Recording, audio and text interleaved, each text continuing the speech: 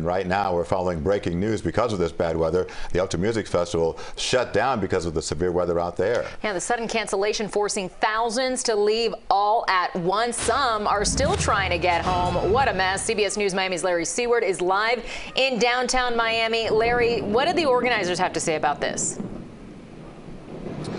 Well, listen, people left here very disappointed, but this was a temporary move, according to organizers, because of the thunderstorm. I think you can hear it behind me that we're standing in right now. You can see police just down the street as they've tried to get people out of here, and people still leaving here. Um, some this has been going on since 9 o'clock. Again, people that we met very disappointed. They expected and prepared for rain, but did not prepare for rain to spoil the opening night of the festival. In a downpour near Bayfront Park, Ultra Music Festival fans scatter. It was like a mud pool, definitely. First crowds left by choice.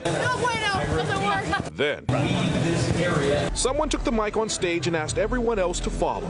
Around 9, tens of thousands of people flooded Biscayne Boulevard. On Twitter, organizers explained severe weather, lightning, and strong winds. For your safety, Ultra Friday is temporarily shutting down. Please calmly leave the park now. No, it's a great thing for the community. You know, we need to worry about people's safety, and um, no, they shouldn't have closed. This came hours after people from around the world rushed in for the sold out three day festival, some prepared for bad weather. Rain jacket!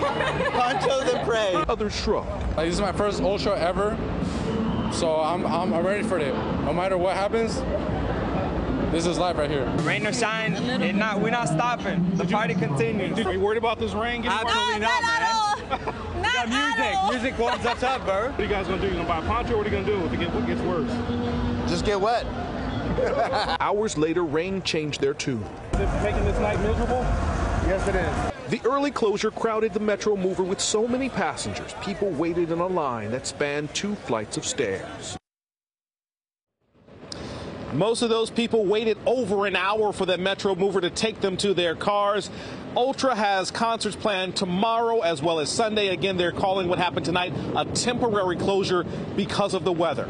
We're live downtown. Larry Seward, CBS News, Miami.